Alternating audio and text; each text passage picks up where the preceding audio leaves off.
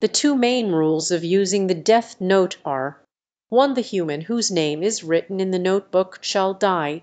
(2) The writer must have the person's face in their mind when writing their name.